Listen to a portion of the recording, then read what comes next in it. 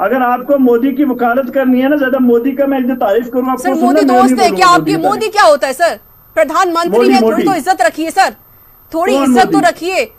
और आपका होगा मेरा नहीं बीजेपी का प्रधानमंत्री और रेडिकल फौजियों का प्रधानमंत्री तो क्यों रह रहे आप इंडिया में? जाइए ना पाकिस्तान में। क्यों रह रहे हैं आप सर यहाँ पर? मैं अपनी रियासत में रह रहा हूँ मैं अपने जम्मू कश्मीर जाइए ना पाकिस्तान में। अगर आप यहाँ के प्रधानमंत्री मोदी की सुनिए मैडम एक मिनट सर। सुनिए ना जम्मू कश्मीर किसी के बाप दादा की जागीर नहीं आए आप आप सर सबसे पहली बात तो ये है कि थोड़ा सा लहजे बात कीजिए। हमारा है लहजे बात कीजिए और शब्दों पर ध्यान देकर बात कीजिए।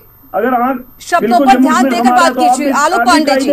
ठीक है सर आलोक पांडे जी। कायदे में रह के बात कीजिए कायदे में सर आप कायदे में रहकर बात कीजिए और तमीज से बात कीजिए यहाँ पर। आप मैडम आप कायदे में बात कीजिए सर आप बात कीजिए कायदे में। सवाल क्या उसका जवाब दिया करिए बस। आलोक पांडे जी ठीक है। आपको कभी ना कभी दूसरे तीसरे दिन की खबर मिलती है आज मिलिटेंट मारा गया आज टारगेट किलिंग में एक सिविलियंस मारा गया। तो उसका मतलब ये है कि जम्मू कश्मीर के हालात अच्छे नहीं हैं जम्मू कश्मीर में हालात बहुत खराब हैं और आप शो ऑफ़ करती है आपकी बीजेपी सरकार और पूरी दुनिया में ये बताती है कि मेरी कहा बीजेपी अच्छा सरकार हो गई? आप क्या बोल रहे हैं वकार साहब? मेरी कहा बीजेपी सरकार हो गई? कुछ नहीं होगा आप कैसी बातें कर रहे हैं वकार साहब? मेरी कहा से बीजेपी सरकार हो गई? मैं मेरी कोई पार्टी थोड़ी है सर?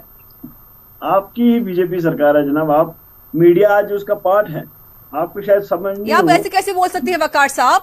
आपको दिख नहीं रहा कि 16 तारीख को 16 जून को यहाँ पर पाँच आतंकवादी को मारा गिरा बार गिरा दिया गया? और देखिए चार आतंकवादी अब मारे गए आप कैसी बातें करें सर?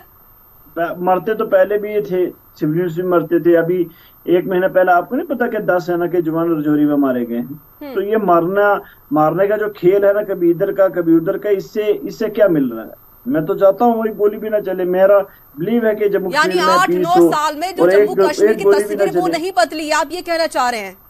क्या?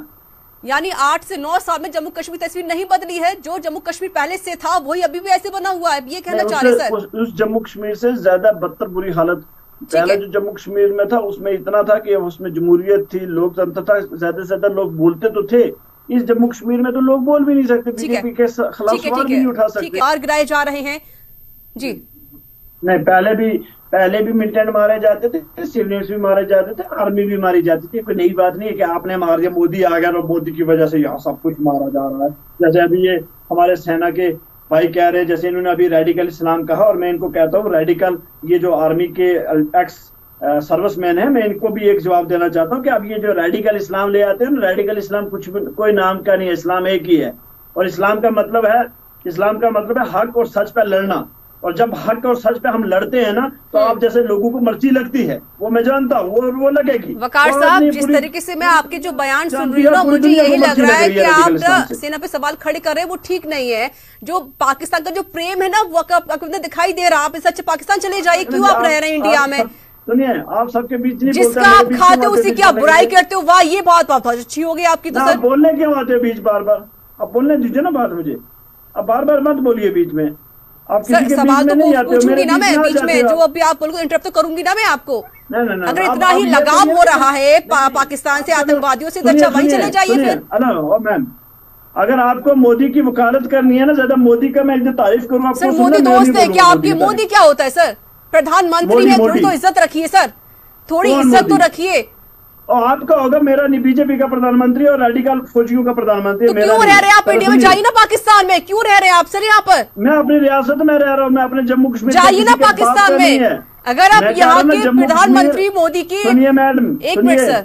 सुनिए ना जी। जम्मू कश्मीर किसी के बाप दादा की जागीर नहीं आए आप आप सर सबसे पहली बात तो ये कि थोड़ा सा लहजे बात कीजिए। हमारा है लहजे बात कीजिए और शब्दों में ध्यान देकर बात कीजिए।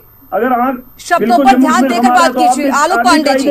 ठीक है सर। आलोक पांडे जी। कायदे में रह के बात कीजिए कायदे में सर आप कायदे में रहकर बात कीजिए।